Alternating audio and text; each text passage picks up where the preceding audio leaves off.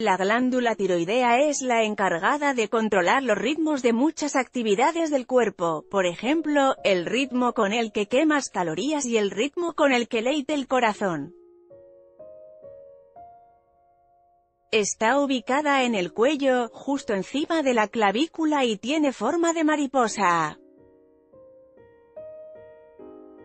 Si la glándula tiroides no es lo suficientemente activa, no produce la cantidad de hormona tiroidea para satisfacer las necesidades del cuerpo.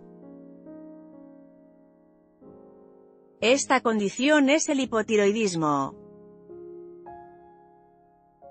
Cuando una persona padece alguna afección en la glándula tiroidea, puede presentar dolores musculares y articulaciones como los siguientes, dolores musculares, sensibilidad y rigidez, especialmente en hombros y caderas. Dolor articular y rigidez hinchazón de las articulaciones pequeñas de las manos y los pies. Síndrome del túnel carpiano. Cómo disminuir el dolor aunque los analgésicos de venta libre frecuentes como el ibuprofeno o el paracetamol pueden ayudar, el reemplazo adecuado de la hormona tiroidea es el tratamiento primario y a menudo ayuda significativamente.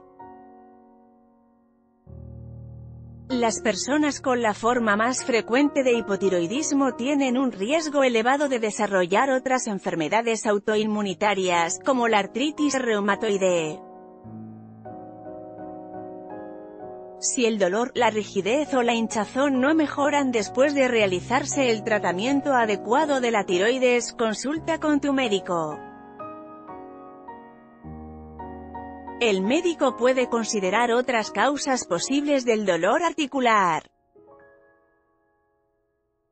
Síntomas del hipotiroidismo Síntomas Los síntomas de esta enfermedad incluyen pérdida de peso, ansiedad, nerviosismo excesivo, aumento de la temperatura corporal y del ritmo cardíaco, temblores, palpitaciones, insomnio, sudoración excesiva y dificultad para concentrarse. Tratamiento El propósito del tratamiento es detener la producción de la hormona tiroidea, para esto se suele recomendar estas tres opciones, 1. El consumo de medicamentos antitiroideos, 2. La exposición al yodo radiactivo para destruir la tiroides, 3.